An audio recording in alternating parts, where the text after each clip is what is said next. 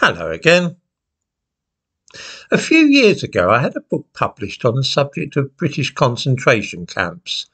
I give a link to it in the description to this video and you can see it in the thumbnail. By concentration camps, of course, I do not mean death camps like Treblinka in Poland.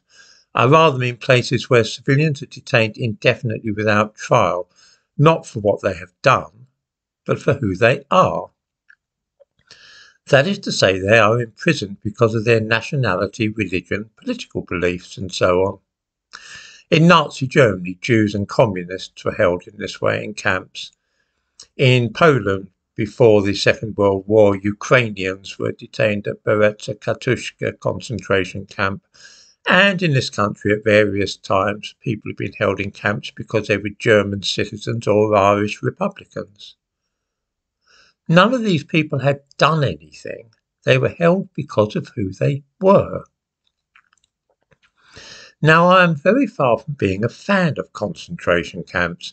I've made no secret at all of my association with Israel, and that alone probably enables folks to guess how I feel about the whole business of locking people up because of their ethnicity. I find the concept abhorrent. A while ago, I made a video which I published here in which I pointed out that it was, if it was really desired to remove all asylum seekers and refugees from this country, then it would be necessary to set up an extensive network of camps to detain them all pending deportation.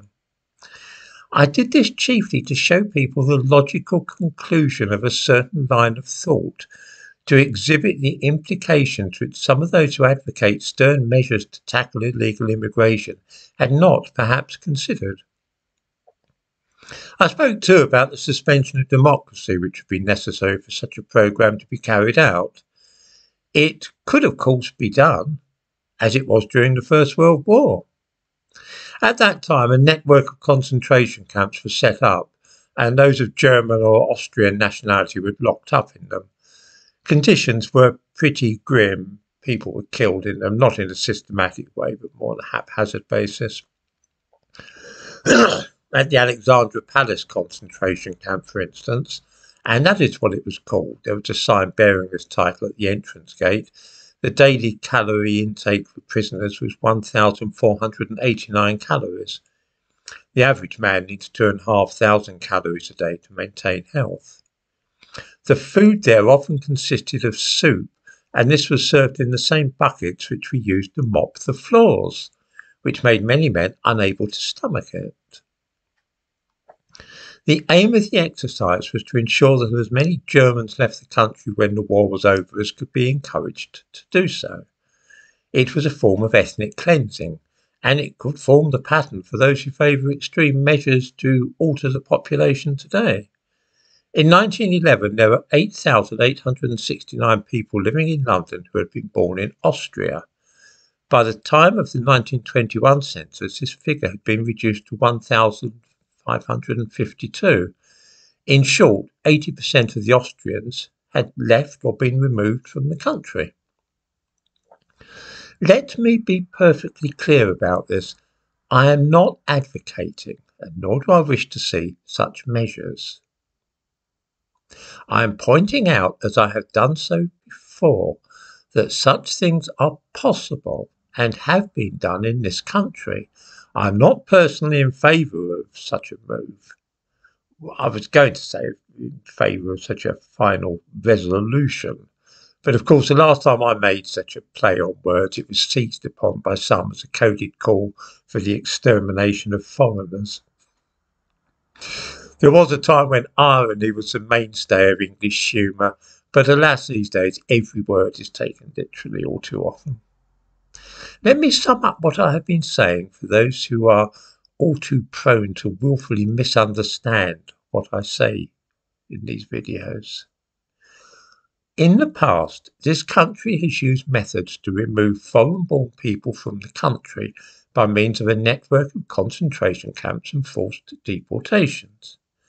That is what happened between 1914 and 1920 with those born in Germany and Austria and living in Britain. There would be no problem about such an action today. I don't think it would be a good idea, though, because all else apart, it would mean the end of any pretense at democracy in this country. I set out the prospect, both here and in a previous video, not as a good or desirable blueprint for future action, but rather to show people the logical, indeed inevitable consequences of some of the more intemperate demands for controls on illegal immigration. Those who want such things should be very sure that they understand what would be entailed. For my own part, I feel that the remedy would be worse than the disease. This is, by the way, a common English idiom for a solution which is worse than the original problem.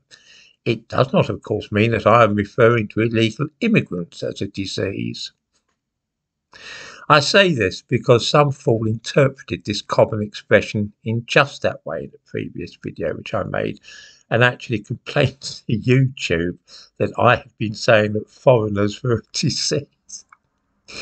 I know it sounds almost incredible. That's why I find it necessary now to try and um, spot what moves these fools will be taking in the future.